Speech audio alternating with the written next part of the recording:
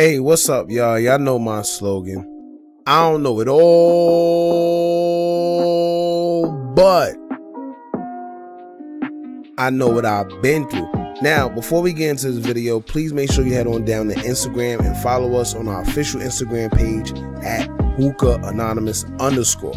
Alright, we're able to be a little more explicit, I'm a little more uncensored, and share content freely without running the risk of having our channel terminated. So make sure you head on down to Instagram once again and follow us at hookah anonymous underscore. All right, now let's get into what you guys came here to see. Now, FBG Cash, man, long live Cash, RP Cash. My condolences go out to his friends and family, right? Now, it's been a lot going on about, you know, what actually happened to Cash. Uh, it's a lot of speculations, a lot of assumptions. At the end of the day, there's no clear cut story as to what happened to Cash on the fatal day or fatal morning that he was shot and killed. Now everybody got their own theories, their own stories. So at the end of the day, um, somebody actually came to me and said that they actually seen the uh, police report. Right now, the person wished to remain anonymous, so I'm not going to say their names. Um, I asked, you know, how credible is their story or their theory, and to try to provide, you know, at least some type of evidence or the police report. However, you know, um, they didn't do so. But the reason why I want to speak on their story is because it makes sense. You know, um, and then like I said, we're gonna get into what they said to me and whatever, and then take it from there. Now, uh, I got a DM, and the person said this. They said, "quote Hookah seen police report of FBG Cash. He was with two men and a girl. Guys following them. The girl front seat with Cash. Uh, she jumped in the back seat acting sick.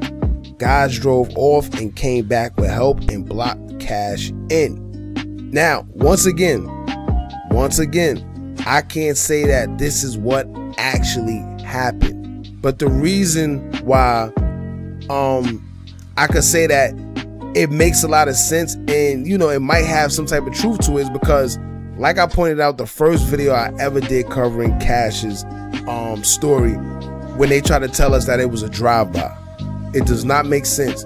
It definitely wasn't a drive-by because if you pay attention to how the block is that that he was on and how the car was positioned, it's no way a big black SUV was able to be on the side and shoot or whatever they claim to do and whatever the case may be, right?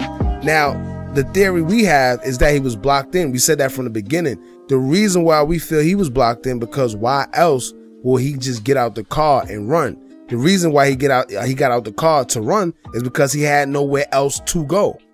You see what I'm saying? Instead of him trying to sit there and back up and it makes no sense. Now, you know, some people may try to uh, throw their car in reverse and, and be gone in 60 seconds like the movie, you know, all that Tokyo drift stuff. But in reality of it, when you pretty much running for your life, you see what I'm saying? And, and dudes is out to get you, you're not thinking about doing all that theatrical stuff or whatever the case may be. He felt that the only way possible for him to get away is pretty much get out the car and run. And this is why the theory of them saying that Cash shot back, this makes sense. He was blocked in, he couldn't go nowhere, so he jumped out the car. And I guess, you know, once he realized whatever the case may be, he tried to buck back and try to run. However, you know, um, he got caught up. Now, there's a lot of theories once again going around about who set him up and who did what. I'm gonna tell you from the beginning, I don't know who did what. There's a lot of stories. It's kind of exhausting. That's why we don't really cover it as much. Some people saying the engineer um, purposely took a live video of him. Let me tell you one thing about that, because I spoke on that before. A lot of I'm not to say the engineer dropped Cash's location on purpose I'm not even gonna go as far as said that he's the one that set him up. However, I always tell guys, man, if you know you doing what you're doing in the street, you can't be sitting here on everybody's lives and and, and jumping in the camera or having people take videos of you because y'all remember y'all gotta remember there's geotags on these um on these stories. I don't know if, if a lot of people know that, but there's geotags. So if I'm an op or whatever, and I see cash with a certain person, he got a story up or story up. I'm gonna look up the geotag.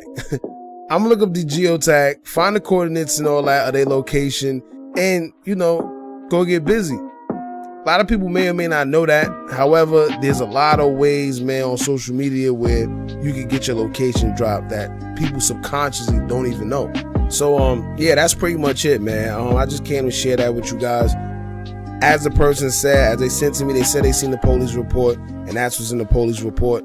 Once again, I'm not going to sit here and say that that this is 100% true because we don't know that. We do know that some foul play has gone on. We do know that the story that we're being told, I don't feel it's 100% true when it went down like that. However, I guess as, you know, time go on, uh, the truth shall be revealed, man. So, as of right now, y'all let me know y'all feel about it. And not to mention, I'm pretty sure that dudes that's actually more close to the cash in the situation, they know what's going on. Um, they know it's some type of foul play. They may know who.